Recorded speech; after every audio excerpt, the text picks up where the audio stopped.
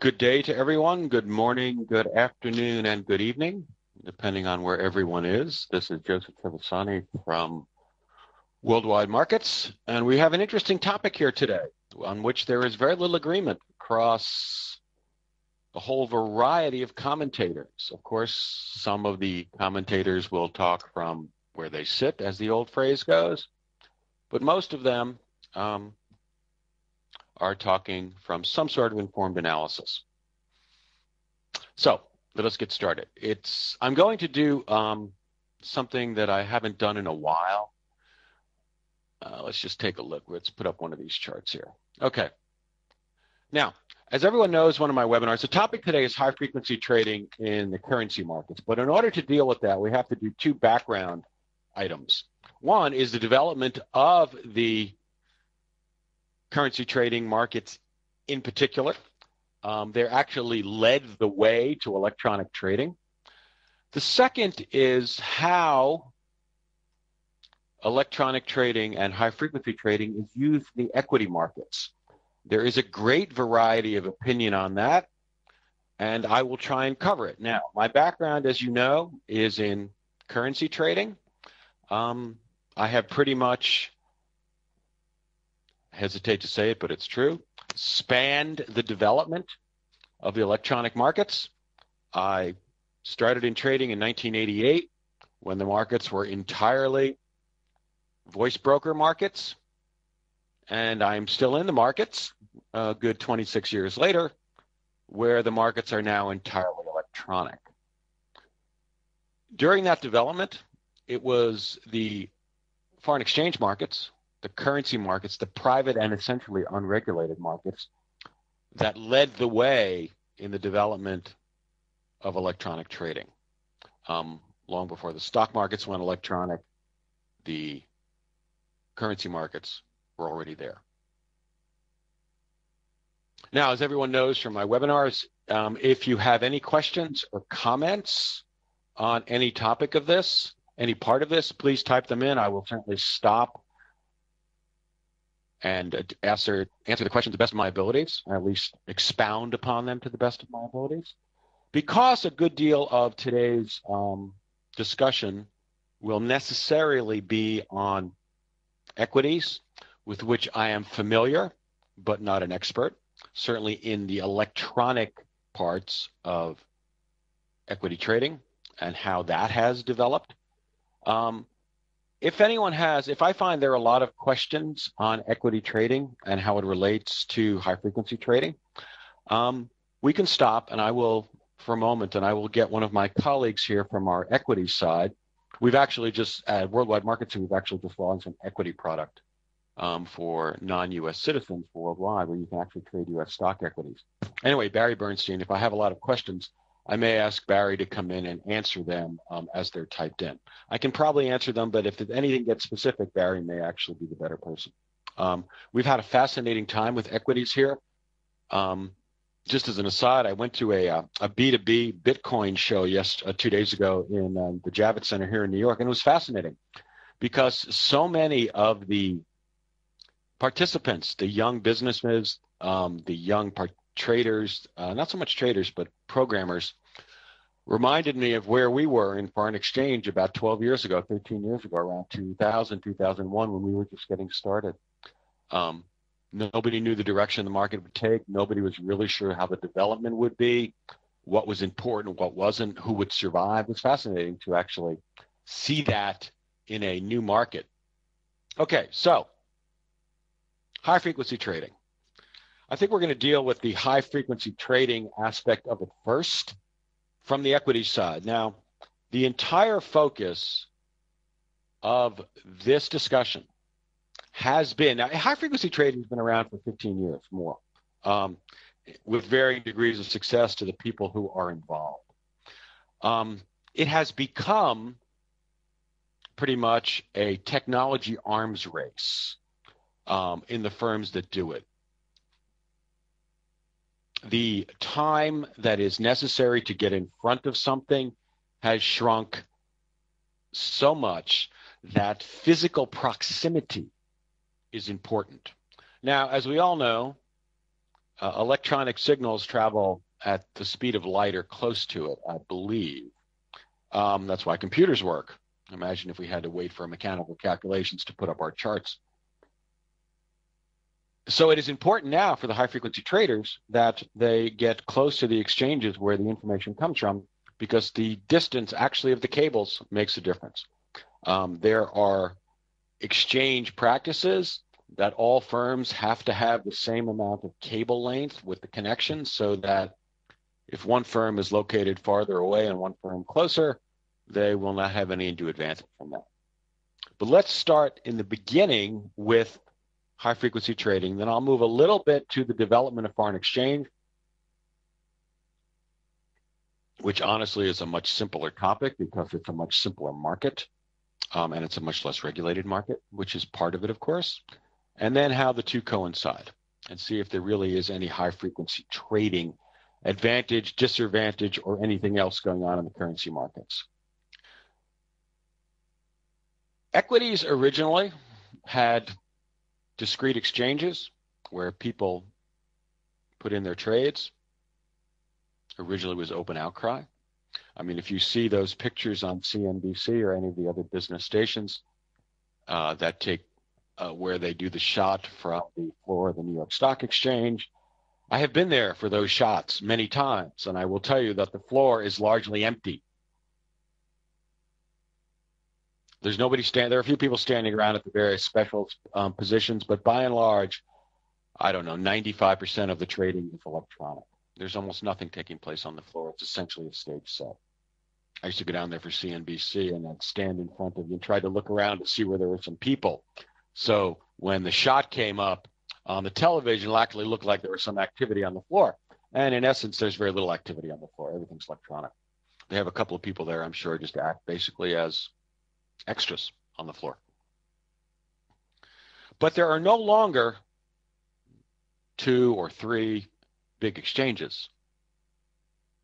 There are upwards of 40 exchanges, various licensed dark pools, which are essentially unlicensed exchanges um, with private inputs. The regulation demands best, best price execution when an order comes in. So all of the exchanges are linked. So if you send an order to say the New York Stock Exchange or your broker sends it to the exchange, but the and this is all computer done that so the next the best price for that particular order is on some other exchange, then the computers are supposed to route your information to that exchange for execution. This all takes place in milliseconds or maybe we're dealing with nanoseconds at this point. I'm not exactly sure. It's not the retail traders whose orders get uh, get the high frequency traders running, but the high the retail traders and the public perception of the exchanges is extremely important.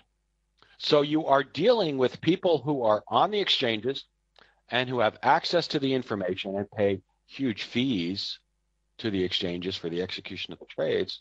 And the public perception that as the man who started all of this current discussion, Michael Lewis has charged in his book using deliberately provocative language, which is actually not in the book.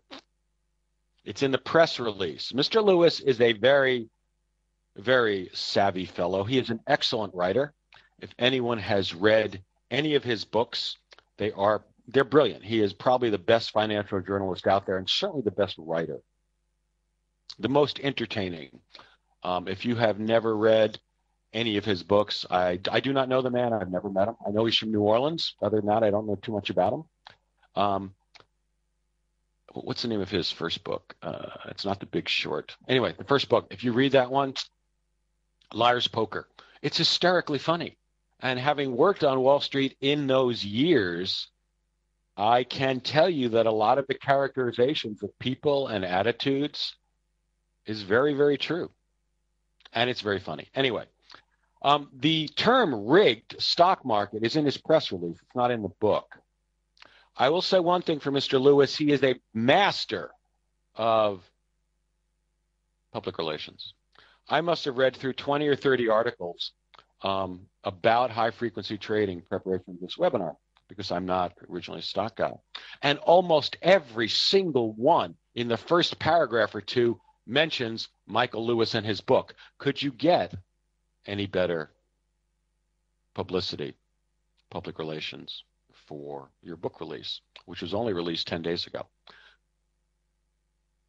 The way he characterized it, or the way I understand, and again, I'm saying I understand, high frequency trading in the stock world, it's really of two different types. One is that the information now there is the insider trading rules for the stock markets. Um, there are arguments to be made, and I've read them, that insider trading rules are foolish, um, and others that are not. I'm not going to enter into that discussion.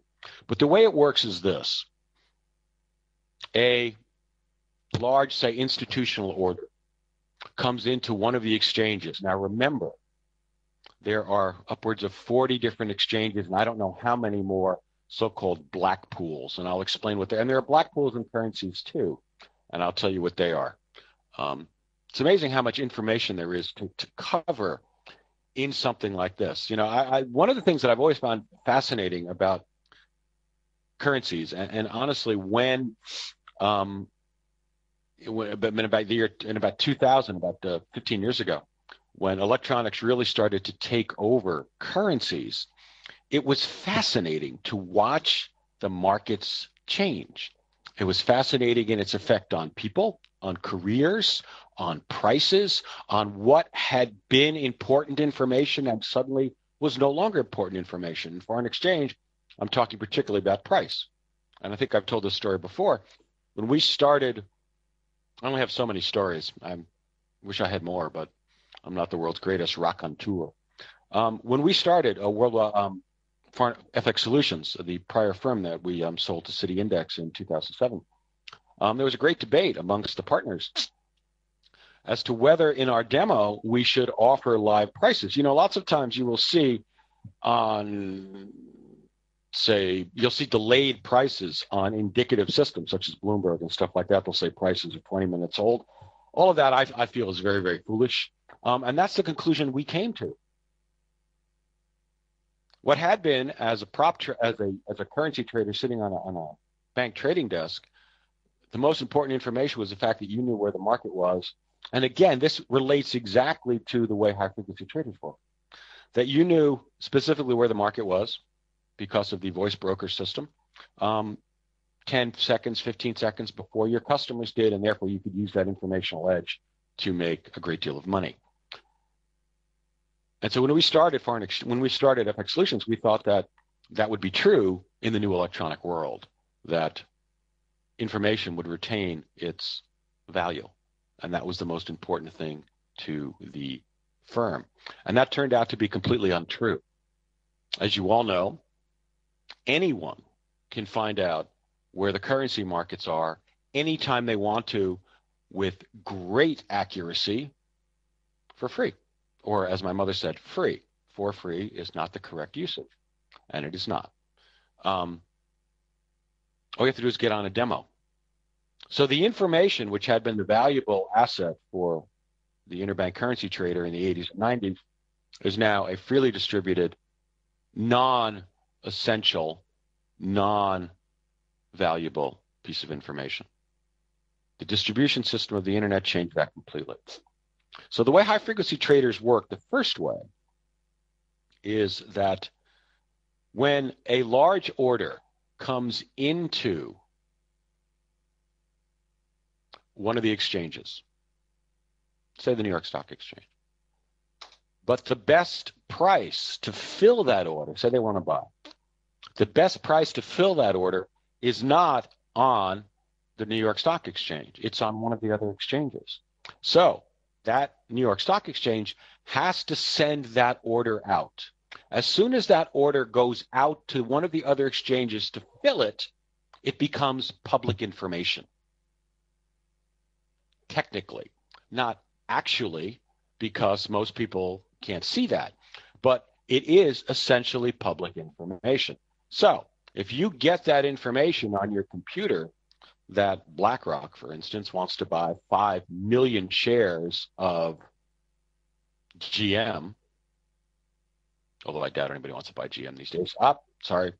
That was an editorial comment. Ignore that. Then, if you can get to the exchange with the better price or any exchange before that order is executed, and we're talking again milliseconds, thousandths of a second, then you know very well, as we all know, what that order is going to do. When that order hits the market, it's going to drive the price up. Maybe not very much, but enough. So if you get there and buy before that order is executed, that order is going to be executed because the order is now into the system. You can't cancel it. So if your computer one sees the information the order's going out and then jumps in front of it, you can take advantage of that information and buy ahead of it. Now, the purpose of high frequency trading is not position. It is not prop trading. It's arbitrage. It's exactly what I used to do on the foreign exchange desk at Credit Suisse and Bank of Bermuda when I covered the crosses over dollar, which you can occasionally still get a bid on, it, still get an advantage on. That's very, very hard. But you used to be able to in the um, the mark uh, the the the the mark Swiss trading the German mark against the Swiss franc and the two components the dollar Swiss trading the dollar against the Swiss franc and the dollar mark trading the dollar against the German mark. Same thing now with euro yen. Um, the place you might the place you could probably still find some arbitrage possibilities in currencies is something like the sterling Swiss or the sterling yen, where the spreads are wider. But it's very, very difficult to do it now because of the leveling effect of the electronic market, where everyone can see the same price all the time. There's simply no place to do it. So that is arbitrage. What you are doing is you are taking, if you multiply uh, the dollar yen by the euro dollar and you get a particular bid, right? And if you if the offer in the euro yen is below that, that's an inefficiency in the market. And you can take advantage of it. That's what arbitrage is. That is what high frequency traders are trying to do. So when they go and take that offer because they think the price is going to go up due to the 5 million shares from BlackRock, and I, these names are purely hypothetical on my part, of course. Um, although the names are real, I have no idea what what they do or they don't do. I just think you tell a better story and you attach a name to it. What they're going to do is they're immediately going to close that trade. They are not in the position of holding a position. Whereas BlackRock, BlackRock probably is, at least that part of the BlackRock trade. Who knows? Maybe some maybe the GM earnings are due out and they think that they're going to be better than expected, therefore GM stock is going to go up. That's a position trade. Even they only tend to hold it for 10 minutes. That's very different than what the high frequency traders are trying to do. So the question is, um, I do apologize, um, but I do not speak Spanish, so I cannot translate that particular phrase. If anyone can and they can put it up there, uh, I'd appreciate it. Um, where was I? So that's what the high frequency traders are trying to do. Ah, okay. Thanks.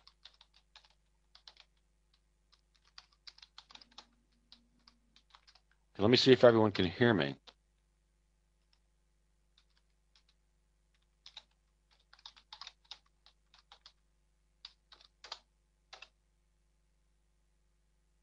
Okay, everything says good. Thank you.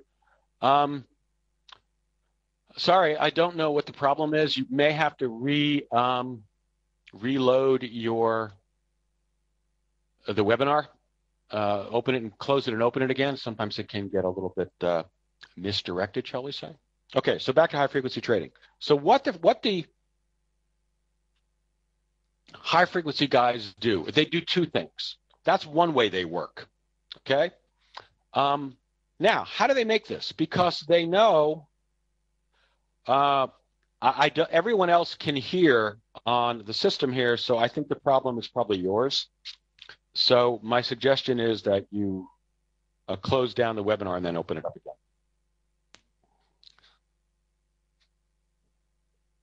So when they take that offer, what they're expecting to do is to sell it immediately. And this is all computerized. There's nobody sitting on a keyboard. So whatever whatever offer they get, they immediately offer it out. And who is most likely to take that offer? Another high frequency guy. So the idea that they're stepping in front of I mean, I know I read one of the one of the articles I read today. He actually um, opened the article talking about mom and pop investors. That's silliness. Um, that's not who we're talking about here. And remember, the I read another one that was kind of funny. He said that anytime, because Goldman, um, in their corporate entity, has come out saying that high frequency trading needs to be needs to be regulated. And his point on that was that anytime Goldman says something, they're doing it for their own benefit and their own rent seeking activities in the market, trying to this is his opinion, the author of this um, article, Todd Sawicki from the Washington Post. I don't know if he's from the Washington Post, but anyway, he's from the Washington Post. Um, that they're seeking to maximize their rent seeking ability. Um, that's the economic term where an entity involved in economic activity attempts to improve their profitability by making the rules of the game to their benefit. So his point was that if Goldman is for it, that is increased regulation, then it's unlikely. Then they're probably doing it from their own point of view, which is perfectly legit, and they shouldn't be criticized for that. But that doesn't mean that it's into the advantage of everyone else in the market. Okay, so back to it. So what the high frequency guys are trying to do, they're trying to do that, and then within milliseconds, that means less than a second, they're going to sell that position out. If they buy it ahead of the order, they're going to sell it out. So there's a serious technological arms race here. You need the fastest computers, the best connections, because whoever gets there first is going to. Who, who said that? Nathan Bedford Forrest, a Confederate general in the Civil War, said. Somebody asked him, "What's most important in a war?" Whoever, I think he in battle, said, um, "Whoever gets there firstest with the mostest would win." Well, that's basically what the high frequency guys are trying to do. And once they have that offer, who's likely to take it on the other side? Another high frequency guy. Now, the market is going to go in that direction anyway because of the large GM buy order, say from BlackRock. Now, what is something else that's taking place here? That in order perhaps to sell that bid that was taken by the high frequency trader, they have to offer it inside the spread in the market. Because they want to make they don't want that position. They want to convert that position. So how do you make sure if the market is 30 33 how do you make sure that you get paid if you're long? Well you offered 32 you offered 31 so that's exactly what they're doing so one result, which we have all seen, and we've seen it in the currency markets too, um, the efficiencies as far as pricing go increase. And this is a benefit to everybody. So you have to be very careful because markets always seem, when characterized from the outside, as something that is tricky. And that's not necessarily true. You have to understand both the purpose of, or you have to consider, shall we say, both the purpose of the markets and how they function. So, one thing that the high frequency traders have brought to trading is efficiency of spreads. And we've seen this in foreign exchange as well. We're about to launch a, a variable trading platform on MT4. And the spreads, I remember, you know, 10 years ago, spreads were much, much wider than they are now. People are trading on variable platforms now in foreign exchange are seeing one to two point spreads in normal, non volatile markets for everybody. And it's competition amongst the exchanges. If there were not, and we're not an exchange, but I mean amongst the market makers, if the electronic market makers, such as ourselves and many other firms, were not out there, who would be offering those type of spreads to retail traders? The answer is no one. Because it wouldn't be in anyone's interest to do so. It is in the interest of the market makers like ourselves and FX Solutions and everybody else to offer tighter spreads. Why? Because we're competing for the customer's business. So the tighter spreads in equities that have been brought about by high frequency trading and electronics and other things too, in the end, benefit everyone. Because the retail trader also gets the benefit, and so does the institutional trader, of tighter spreads. Okay, there are two other aspects to high frequency trading in equities that I'm going to deal with, and we're going to move on to foreign exchange. After all, this is a foreign exchange platform. Although, actually, as I said, you know, ourselves and many other uh, participants now are offering, you know, sort of the, the, the grail of trading is to offer all instruments internationally traded on one platform. We saw this, I mean, this is, you know, very obvious to everyone. And the biggest problem with it, honestly, is the myriad of regulations and national jurisdictions that are involved. I mean, the most famous stock market in the world, of course, is the New York stock market. Well, the New York stock market is regulated by the American government, and to some degree, although less so, by the New York and has some authority over it, is the New York state government. New York City government really doesn't play anything. Um, although I'm sure our new mayor would love to get involved. Editorializing, I take it back. Um, so it becomes you have to in order to in order to satisfy the abilities, and there's a lot to be said for regulation. Um, and regulation is intimately involved in the equity markets.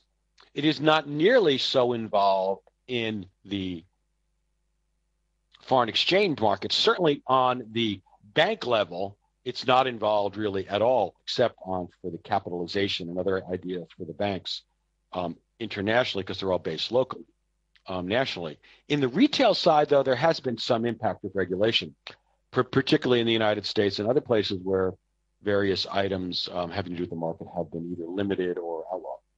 But um, in general, you can still find it. Okay, so the two other aspects of high frequency trading are this We dealt with pricing. Yes, that's exactly where I'm going with next. I'm going to talk about I'm going to talk about liquidity next. You're absolutely right. Um, so first of all, we dealt with high frequency trading by necessity tightens the spreads. It's not the only thing that has tightened spreads, but it is certainly one thing that has tightened spreads. Competition amongst exchanges.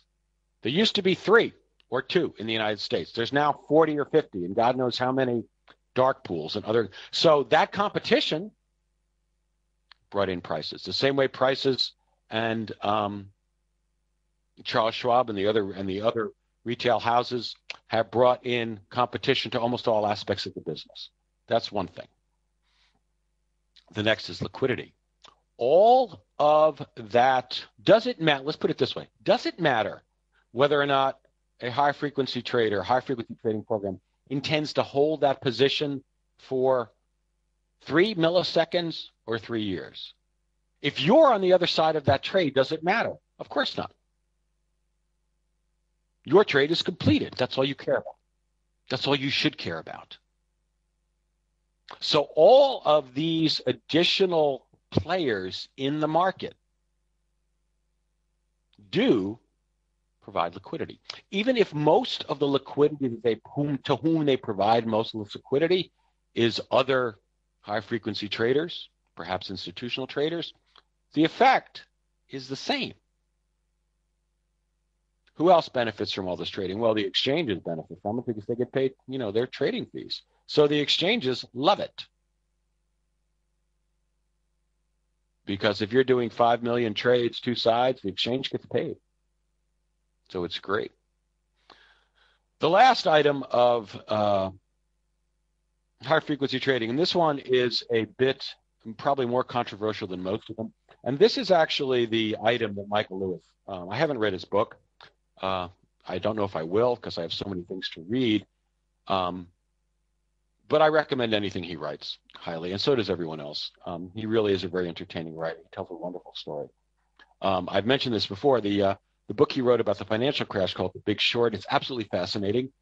Um, I know through a number of uh, through my wife who worked on Wall Street about a number of the people in the book and the characterizations and the stories, and also through my own experiences on Wall Street through that period, are both accurate and fascinating. They really are.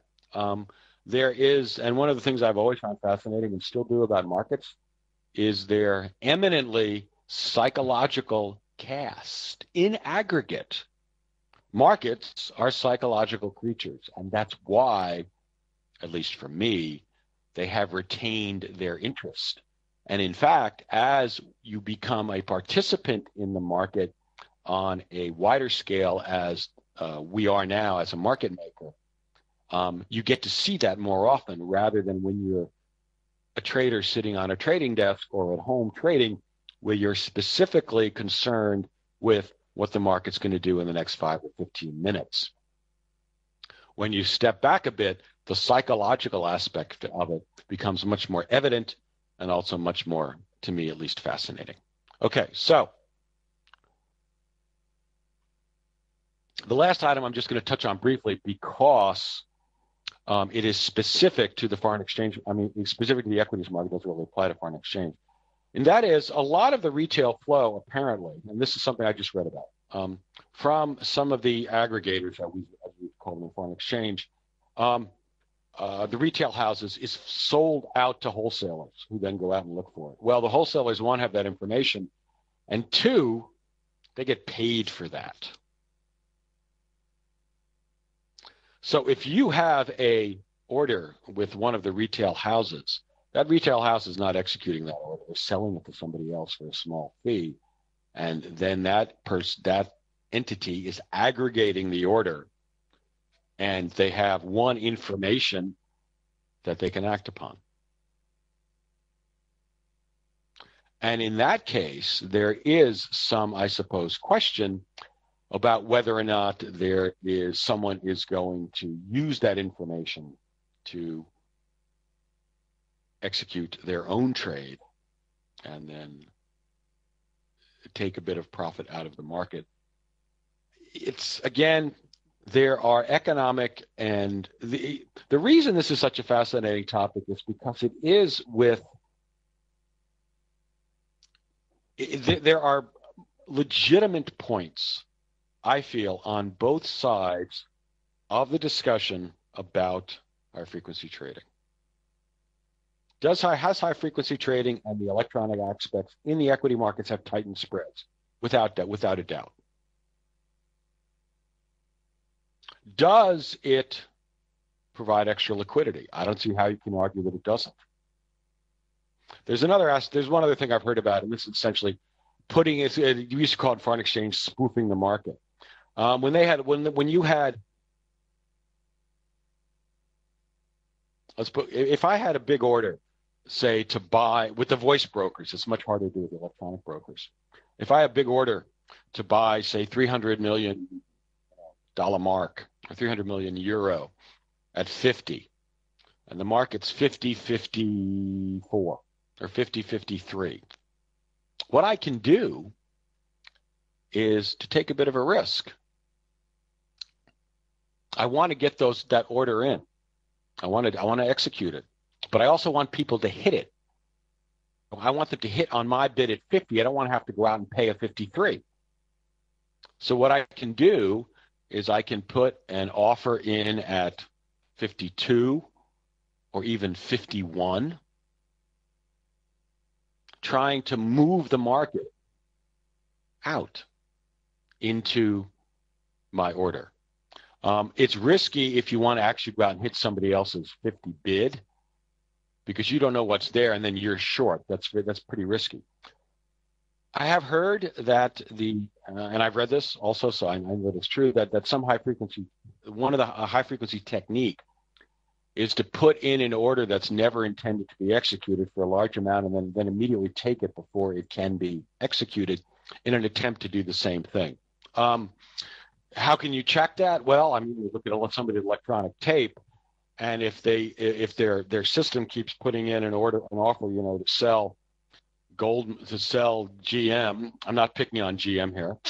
Um, at 52, the bid is you know 50, 50, 50, 53. They keep putting it into 51, but they take it out so quickly that it's never executed. Um, yet that information flashes through the flashes through the uh, the public information system, and it appears perhaps, and then maybe somebody will hit the 50 bid. Okay, um, that is something which the regulators will have to deal with. Um, they certainly have authority to deal with that, and you can come to your own conclusions, and I will not um, enter into it onto whether or not that is a legitimate activity of trading. Um, if you never intend to execute the trade, perhaps it's not. Um, but again, I will leave that one alone. Okay, now let us move to the foreign exchange market. Um, are there any questions? Again, I like to do this, you know, as a colloquium, as I've said many times, rather than as a lecture. So if anyone has any questions about high frequency trading in the equities markets. And you know, another thing, I was speaking to some of my colleagues here in the firm, and um, they're all familiar with this. Um, some of them are from the equities markets. And they said it's something interesting that the the time for the huge profits of high frequency traders is long past. It was eight years ago when this first started. Now, what does that mean? That means that the high frequency traders have taken the arbitrage out of the equities markets they have made them more efficient. They have tightened up spreads and they have provided liquidity. Why? You know it's true because it's much, much harder for the high frequency guys to make money now than it used to be. It's exactly the same thing that's happened in the currency markets. Okay, let us now shift to the currency markets, which operate in a different fashion, but of course the principles are the same. The evolution of the of the currency markets has been from, and I know I've spoken about this in passing many times, has been from a voice broker market to a combined uh, voice broker and direct market where the traders, as myself was, would hear the prices from their brokers, um, and there was some liquidity there, but the bulk of the liquidity was provided by calling other banks on the Reuters system, which in the late 80s was nothing more than a proprietary chat system. That's all it was. I would type in MSFT SF5 and I'd send it out, and that would go to Morgan Stanley Foreign Exchange Trading, price in $5 Swiss. That's what they would see on their screen. They would type in 45.50 and I would put in nothing, buy five, BF, or SF, and that would be it. That would be the trade. They would then confirm our, our confirm our deals, um, where we get our currency delivered, and that would be the end of it. So that's where the liquidity came from. A little bit of liquidity, some liquidity was in the broker market, but and they got paid a fee for it, a brokerage fee, and the Reuters people um, got paid a small fee depending on whether you were uh, they got, I believe they got they got paid a small fee. So that's where it came from. EBS, electronic brokering, electronic brokerage system, came in in the late '90s. uh, from between about I think it started about '96 if I remember, um, and this was simply a posting. You, um, it's a you would simply if you had something to do, you simply put it up there. You did not originally see the whole display the way you do now. Um, and again, what you would do is you would then buy five or sell five. You didn't know who was on the other side of it. Initially, you had to put in the entire amount. And then um, EBS put in a, a, facility where you um, you might have 100 to go at 50, but you'd only put in five at a time, and the market would continually see that. Again, but what started to happen is the ability to deliver the information electronically started to provide pricing efficiencies. Because originally the EBS system was open only to banks, but gradually EBS made money on brokerage. So the more they the more people they had on the system, the more money they made. So there was every incentive for EBS to widen out the pool of people who were participating, which is what they did. And what happens? You end up with more immediate liquidity in the market. What else happened? Because people wanted to get trades completed, the spreads started to compress. What else happened? Because more and more people, this is pre internet, more and more entities had access to EBS, more and more customers of the traders, of myself, knew where the market was. So you could no longer quote five and 10 points. You had to narrow your spreads. Why? Because your customer who's asking you for the price has got an EBS system and he's looking at it. He knows where the price is. So both liquidity and pricing became more efficient. Next step the internet. As I told you earlier about our firm, FX Solutions, in the early days where we were questioning how to do this, the market decided the, the exigencies of business decided for everybody the necessity to compete, to gain customers, drove the market in one direction the free and instantaneous distribution of information, pricing information. Again, a huge efficiency. You, us, we as retail traders no longer have to deal with 10 points in sterling five point. We can get prices down to one point almost all the time. Again, inefficiency. Now, execution in the foreign exchange markets. It has changed a great deal, but the principles are pretty similar as far as what happens. Now, again, just like the equity markets, where the proliferation of exchanges, although it's a little different in equities. So this is what banks have done. I remember a couple of years ago, I was at a uh, a trade show, and there was a panel on. I don't think it was. It, it was actually a regulatory panel. Um, but anyway, I asked one of the traders. I think he was from Goldman. I don't mean to pick on Goldman. I'm not. Um,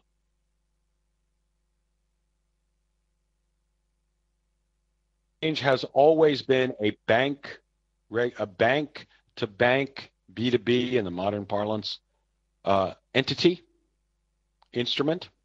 Um, the banks have the banks are run, of course, nationally with and internationally with all sorts of uh, capital requirements.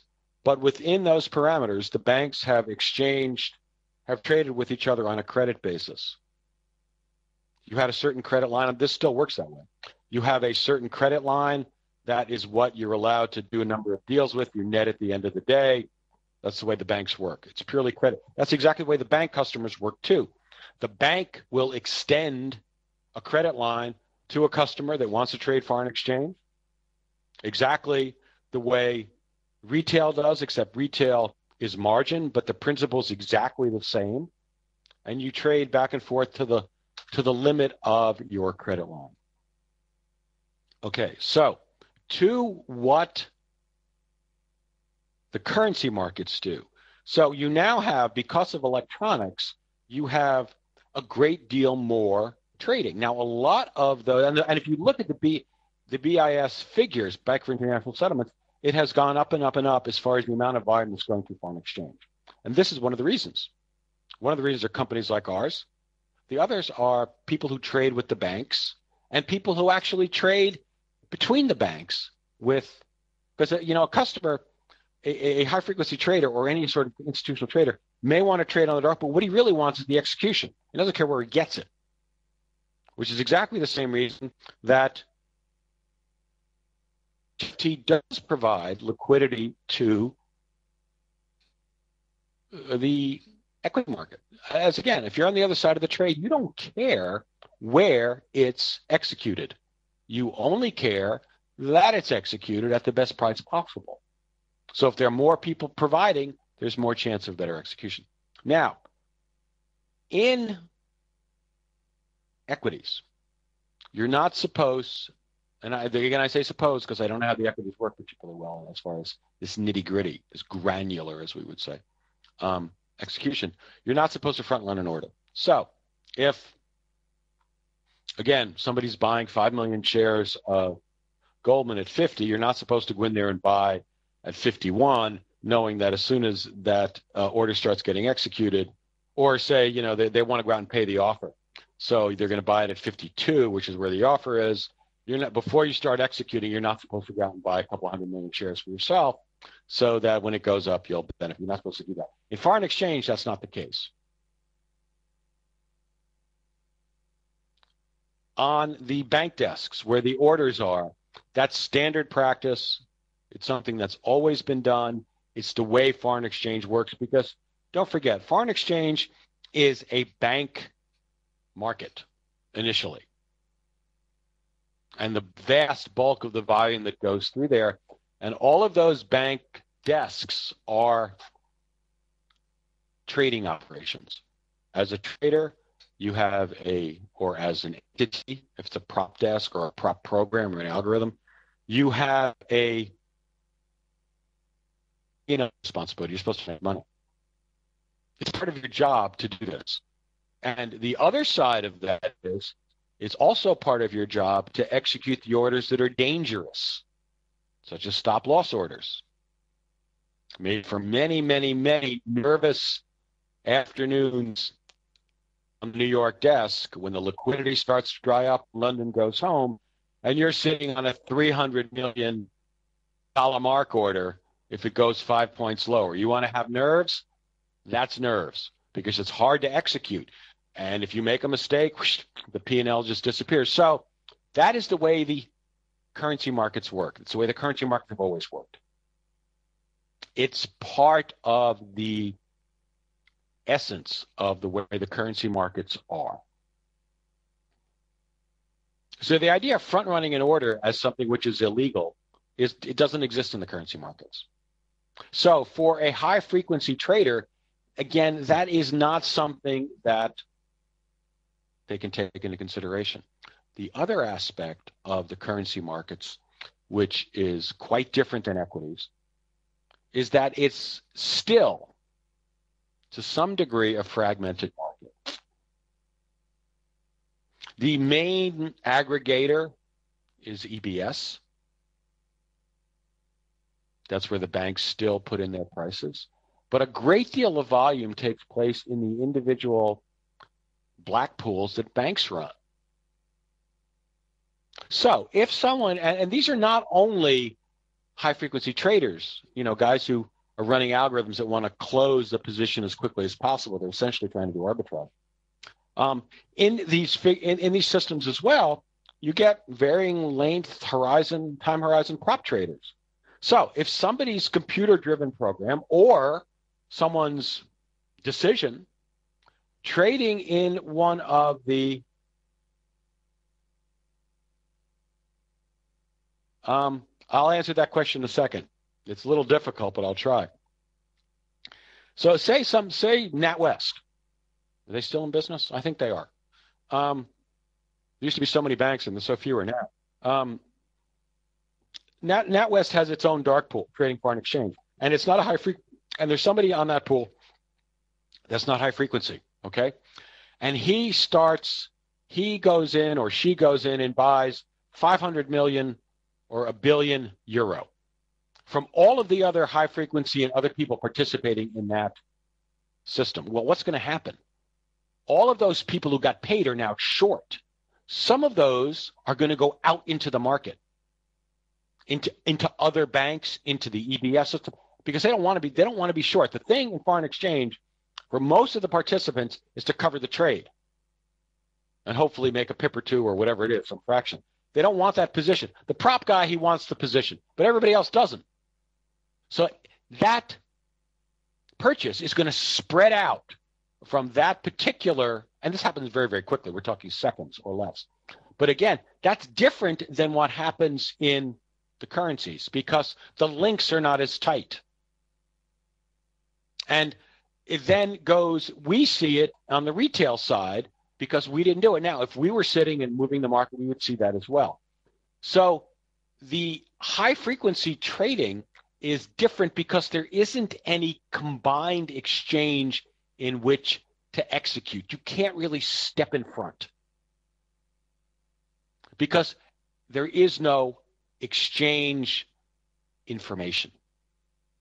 The rules in equities are such that the only advantage someone can get is by getting better technology, which simply lets them see information sooner. Nothing like that exists in foreign exchange. You don't see it, we don't see it until the price actually moves. Well, that may be a couple of seconds after or more after that initial trade hit the dark pool at a bank and started to spread out. Because the only linkage between the um, between all of the different participants in the foreign exchange market is the price. We all see the same price, having to do with latency and other firms like that. But we all see the same price. See, that's not true in the equities. In the equities, there, are, there's two informations. There is the information as the order, which was not executed on the New York Stock Exchange, goes out to one of the exchanges.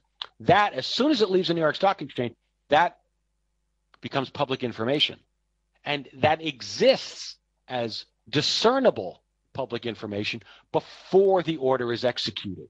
Maybe it's only nanoseconds, but it's still a time which human systems, computers, can deal with. Foreign exchange, that isn't the case.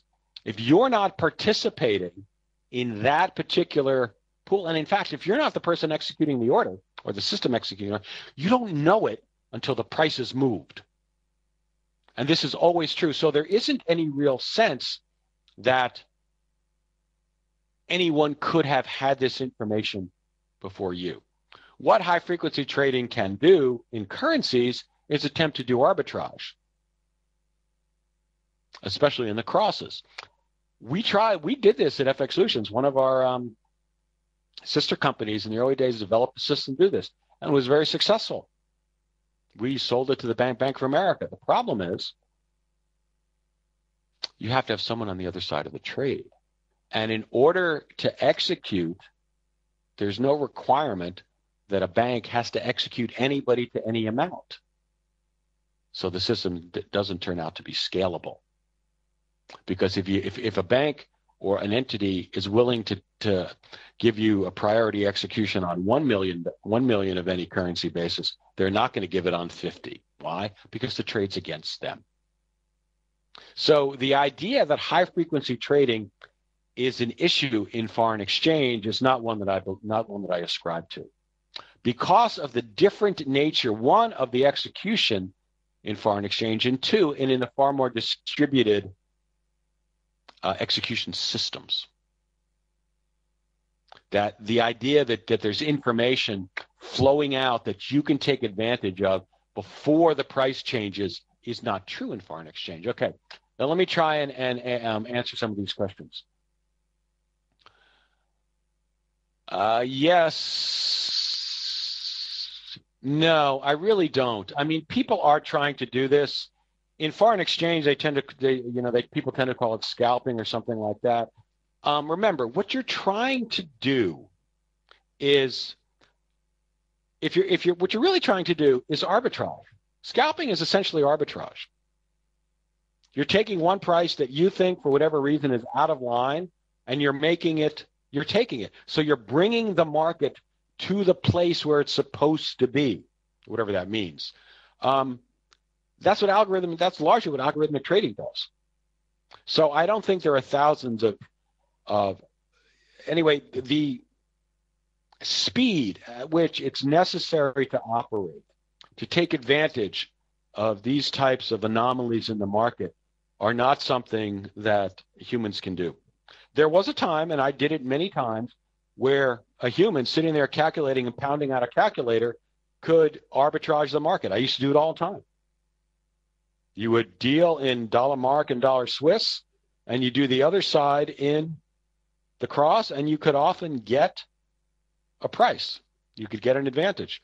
You could also do it from the IMM, converting the futures into spot and do it that way. Okay. Next question.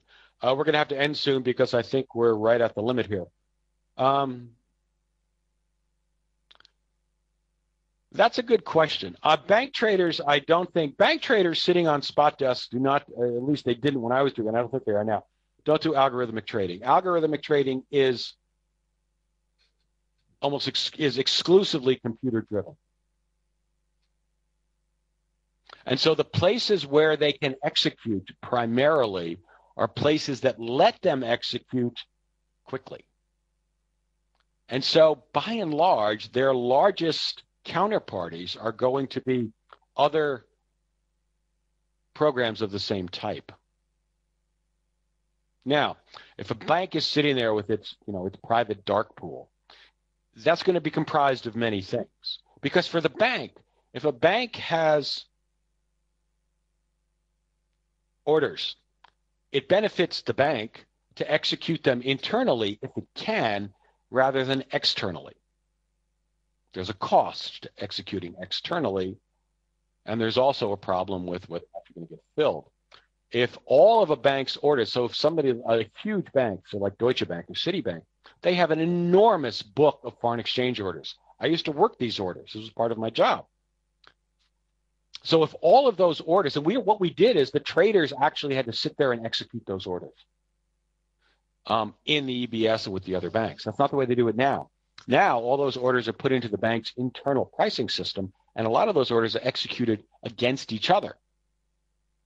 So that's the place where the algorithmic trading operates. And those trading systems, those algorithms will also operate um, in arbitrage across crosses and all of the other things. These things are now, you know, we're not only dealing with the majors. When it comes to the banks and arbitrage and algorithmic trading, you're going to be looking at a lot of the smaller currencies that are still priced because the spreads are wider, the information is less evenly distributed, so there is more chance for catching an anomaly in the market that you can turn into profits. Okay, folks, um, if there are no other questions, I think we should probably end here since we have run over. Um, I hope this has been informative. I know there weren't many visuals attached to this, but there weren't too many, and I didn't really talk about the charts here. Um, I know there weren't uh, there aren't really too many visuals that I thought I could prepare for this. So I hope you will grant me the indulgence of having been largely talking today without illustrating any charts. I will put up my email address um, at Worldwide Markets. If anyone has any questions or any topics that they would like to discuss with me um, or questions they'd like answered, please send me an email and I will be glad to answer them. Again, I thank you all very much for attending. It's always a privilege to do these webinars. I hope everyone enjoyed it. Thank you.